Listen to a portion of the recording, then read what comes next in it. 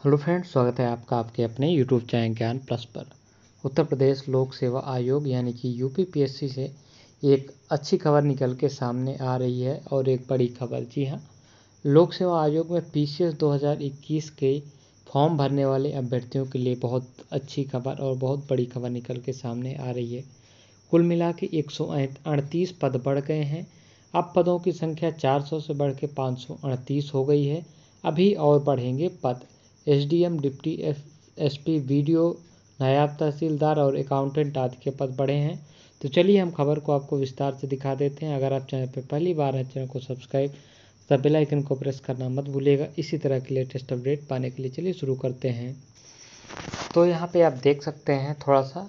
तेरह जून को प्रस्तावित सम्मिलित राज्य अप्रवर अधीनस्थ पी सी एस प्रारंभिक परीक्षा के लिए 138 और पद बढ़ गए हैं। अब पदों की संख्या 400 से बढ़कर पाँच हो गई है। उत्तर प्रदेश लोक सेवा आयोग को एसडीएम के बामन, लोक सेवा आयोग को एसडीएम के बामन पदों का अध्याचन मिलने के साथ ही कई अन्य विभागों से भी रिक्तियों की सूचना प्राप्त हुई है। सीटों की संख्या अभी और बढ़ सकती है। ऐसा इसलिए कहा जा कहा जा रहा है क्योंकि प्रारंभिक परीक्षा का परिणाम घोषित होने तक जितने पदों का अध्याचन मिलेगा, वो सभी इसमें जुड़ जाएँगे। और ऐसा इसलिए भी महत्वपूर्ण है क्योंकि ये अंतिम वर्ष है जिसमें कि अगले साल चुनाव है तो ये इसी वर्ष जितनी भर्तियाँ हो पाएँगी हो पाएँगी, अगले वर्ष का विज्ञापन लेट हो जाएगा। इसलिए जितने भी विज्ञापन हैं, करीब ये बढ़ के संख्या करीब अभी 800 से 900 तक पहुँचिएगा। आप लोग देखे, देखते रहिएगा यहाँ पे। तो अभी पदों की संख्या में काफ़ी बढ़ोतरी होगी। वर्तमान में एसडीएम के बावन पदों के अलावा डिप्टी एसपी के 16 सहायक नगर आयुक्त के 10 खंड विकास अधिकारी के उनतालीस, एआरटीओ के तीन, डीपीआरओ के चार, अधीक्षक कारागार के नौ, उप निबंधन पाँच सहायक नियंत्रण विधि माप विज्ञान ग्रेड एक का एक, जिला प्रोबेशन अधिकारी एक, गन्ना निरीक्षक एवं सहायक चीनी आयुक्त का एक, जिला गन्ना अधिकारी के तीन, सहायक निदेशक उद्यान के पाँच, सहायक शोध अधिकारी के दो पदों पर मिले हैं।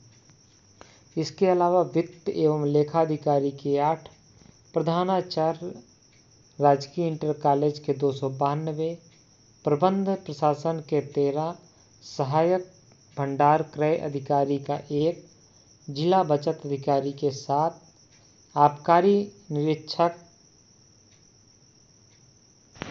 आबकारी निरीक्षक के चौवालीस, सहायक अभियोजन अधिकारी परिवहन के दो, प्राविधिक सहायक रसायन के तेरह, जिला खाद्य विपणन अधिकारी के एक जिला पिछला वर्ग कल्याण अधिकारी के तीन, जिला कमांडेंट होम गार्ड्स के तीन पद हैं।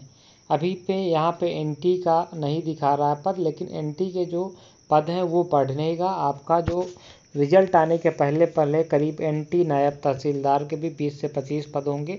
कुल मिला के रिज़ल्ट आने के पहले पहले पदों की संख्या करीब 800 के प्लस हो जाएगी। आप देखते देखते जाइएगा। अब यहाँ पे देखिए, पद बढ़ने के साथ ही घटी प्रतिस्पर्धा। प्रयागराज पी सी एस दो हज़ार इक्कीस में पदों की संख्या बढ़ने के साथ ही प्रतिस्पर्धा कम हो गई है।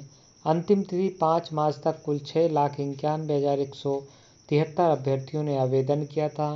पहले पदों की संख्या चार सौ होने पर एक सीट पर सत्रह सौ अट्ठाईस उम्मीदवार थे। अब ये पाँच सौ अड़तीस होने के बाद बारह उम्मीदवार रह गए हैं। लेकिन अंत में ये करीब 800 सीटें हो जाएँगी। तो यहाँ पे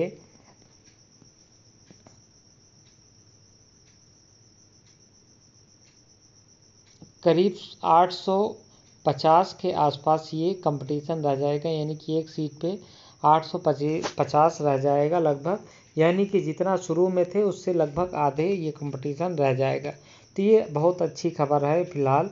अभ्यर्थियों के लिए जिन्होंने पीसीएस के लिए ऑनलाइन आवेदन 2021 में किया है। धन्यवाद।